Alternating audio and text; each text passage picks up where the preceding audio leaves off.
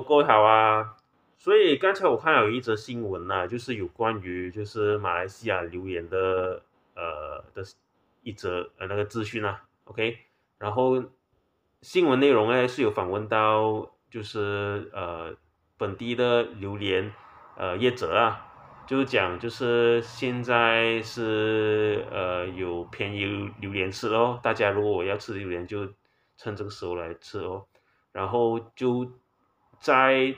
就是之前就是中马呃就是就李强来马来西亚嘛，就是也是有宣布讲哦，就是会开呃大陆的那个国门，就是让那个马来西亚的新鲜榴莲、带壳榴莲呃进入到呃那个中国市场哦。然后那个业者呢，就是本地业者就讲是进入就是在这个这个事情发生之呃之之后啦，可能会马来西亚榴莲会呃，you know 涨价咯，因为那个 demand 少，那个那个呃 supply 少了嘛，demand 多就可能肯定就是涨价咯，还是有这样的担忧啦。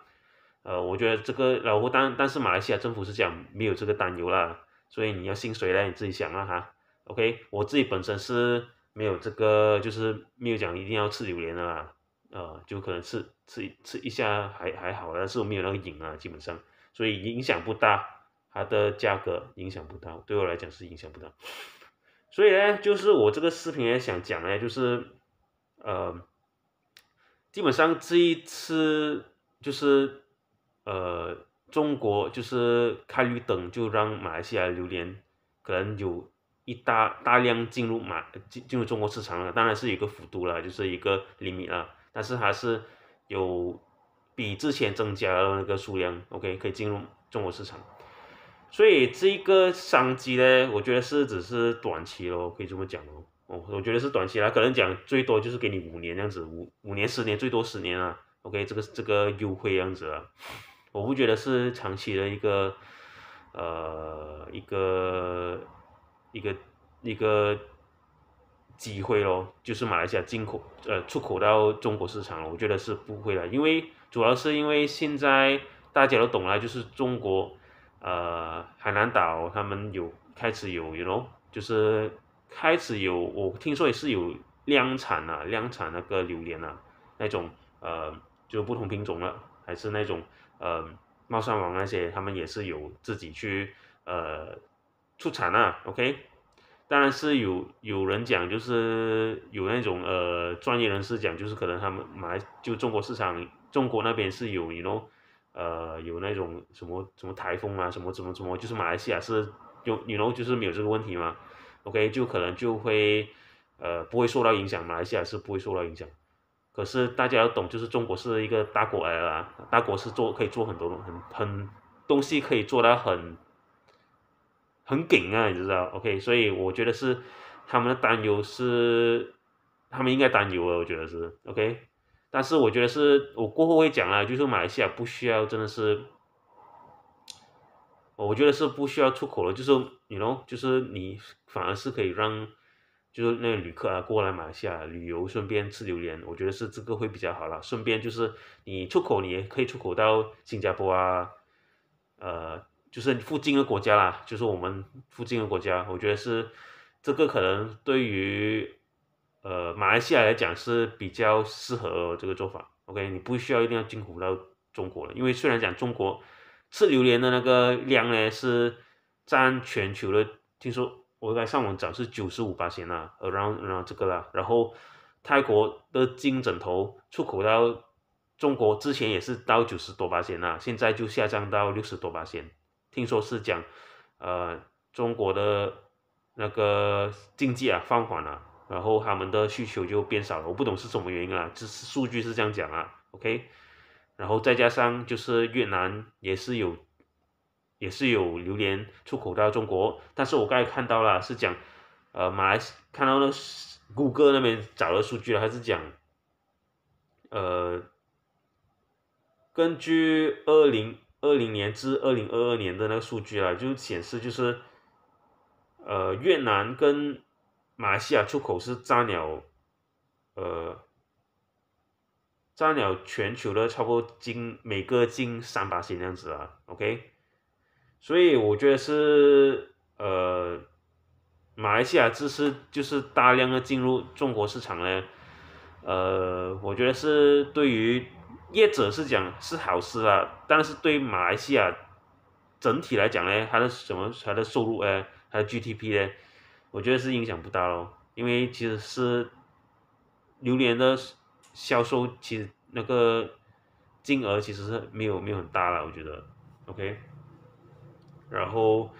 你要量产的话，马来西亚量产是也是很难的，OK，就大家都懂了，就马来西亚的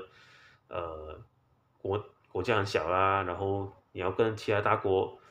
跟泰你连泰国都打不赢了，你你甚至现在中国也要量产，然后甚至我我前几天有看到台湾也要自己自己去做榴莲，自己种榴莲，种种那些呃种那个呃猫山王，OK。然后他们要种出自己的味道啦，就是他们可能他们只是 supply for，他们是讲要出口到东南亚，OK，OK，你要知道这明白啊，就是你水果呢，我觉得是你不需要你出口呢，你不需要讲一定一定是要量产的嘛，OK，量产是可以占掉整个市场啊，但是你要出口，可能你可以就是来你讲那种，我不知道日本那种水果啦，你可以可以就是可以买很贵的哦，一 OK，就可能马来西亚可能在。K.L. 啊那些地方可以看到那种，呃，那种就是可能 Australia 啊、日本啊那种那种那种呃那种什么苹果啊水水果那种，就是很很贵啦，就是人家是讲哦我我要吃那个呃某某水果就是一定要吃可能日本的或者 Australia 这样子，OK，所以这个东西呢，我觉得马来西亚是呃就就台湾啊，所以台湾就是它要出口，我觉得是。呃，可以的，我觉得是没有问题的。就是只要你你做到一个味道是独特的，然后人家是愿意，可能你卖的贵的话，人家愿意买的话，Why not？OK，Why not？就是但是还是他们是有 effort 去做做这个东西啦，去种榴莲啦，我觉得很好。所以马来西亚，我个人觉得啊，真的不需要，真的是因为因为你要懂的，就是呃，中国开那个呃让就是马来西亚榴莲进入。市场，呃，就是中国市场，是因为我我不知道啦，可能因为大家那个关系友好啦，但是你讲真的影响不大啦。对于中呃马来西亚马来西亚政府来讲，哦，那收入，我觉得是对于业者可能就是，you know 赚的比较多啦，OK，然后可能有在这一方面可能有有竞争嘛，就是跟国外的竞争，就是可能有稍微的提升自己的水平，但是我是怕他们就是，呃。为了量产而影响到管理低啊，导致到其他国家他们可以量产，他们大国他们很多资源，他们是又可以做的很好吃，又可以量产。你你如果你当你你你马来西亚的那种榴莲业者，就是越越走越偏了，你走到走到一个一个一个程度了，你根本就是没有没有办法再 U turn 回来，就是就是这样子。OK，就是为了那种利益啊，那种就 profit 啊，就是等等这些东西，他们是不不可能回头，因为回头可能会成本更高，代价更高，就可能就会，呃，就影响那个质量。我是希望现在是马来西亚，现在全球就是马来西亚的榴莲是出名，就是出名在它的，呃，就是好吃嘛。哦，对于榴榴莲爱好者来讲是好吃，但是不要为了量产而，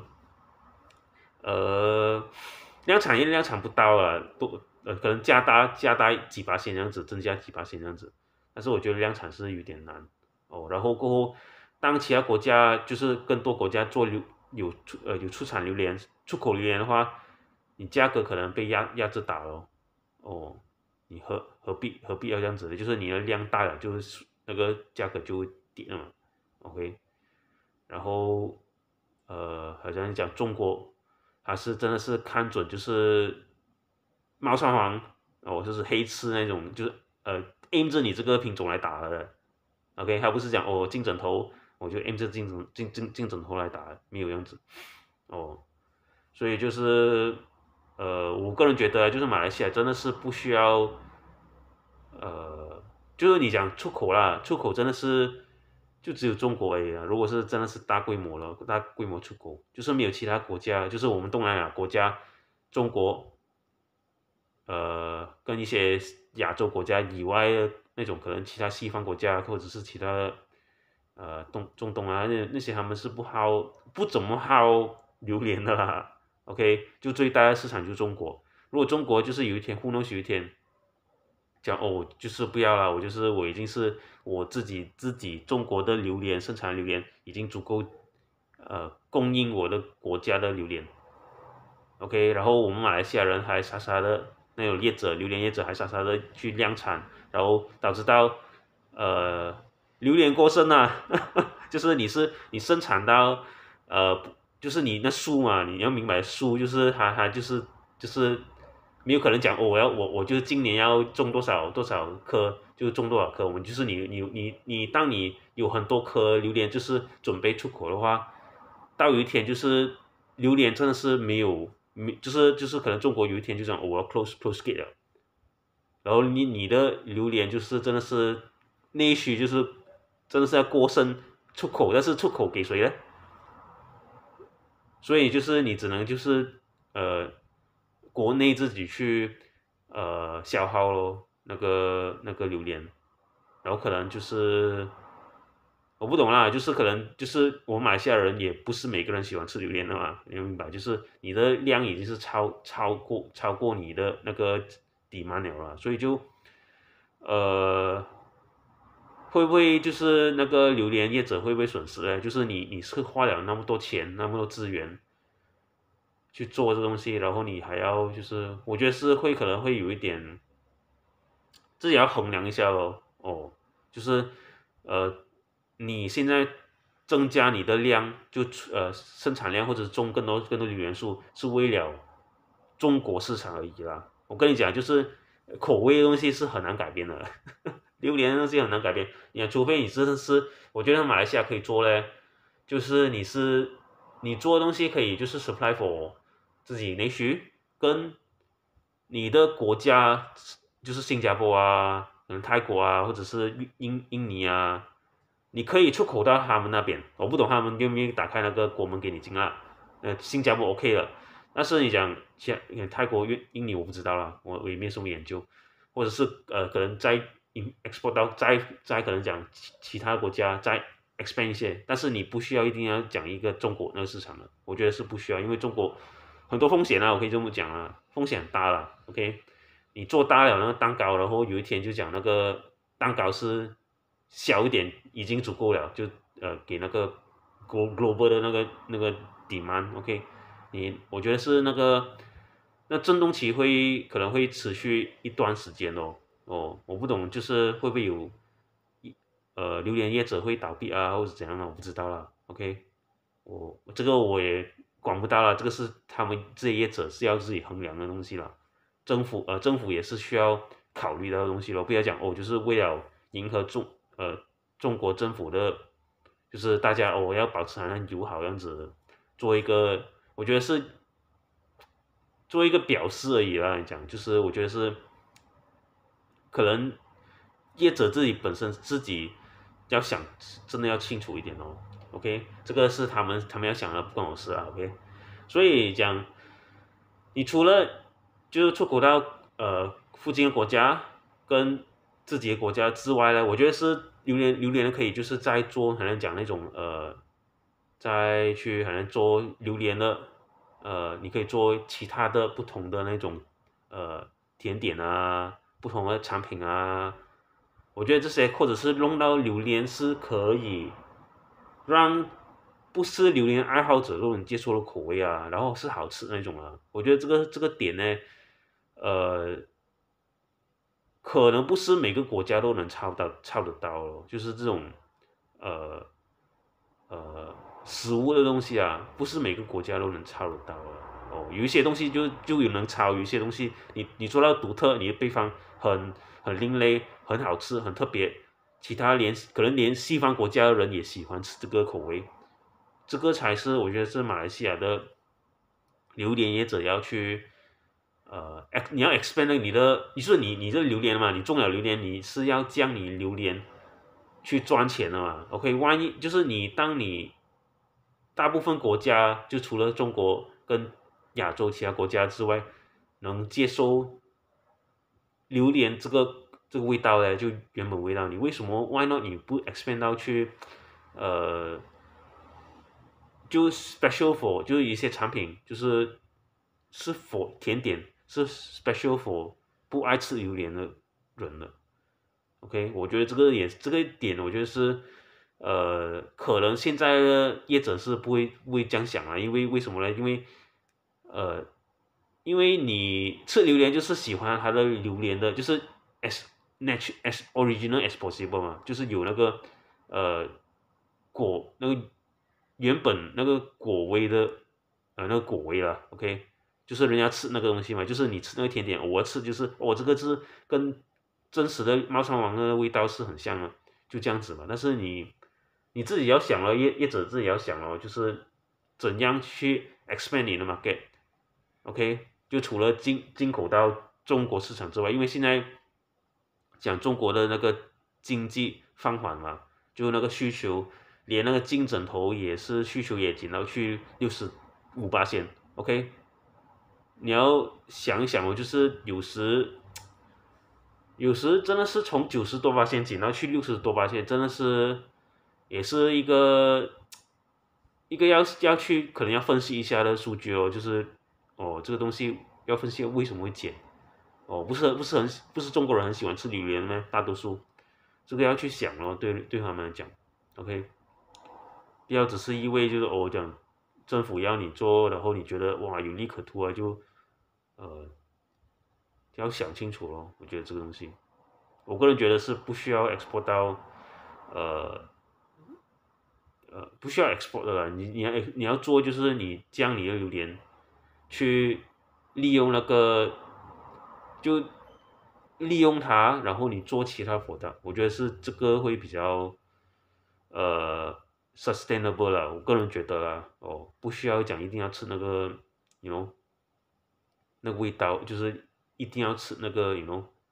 哦，一定要真实的果肉啊，不需要了，我觉得是不需要这样子，OK，所以今天视频就差不多了，所以谢谢大家。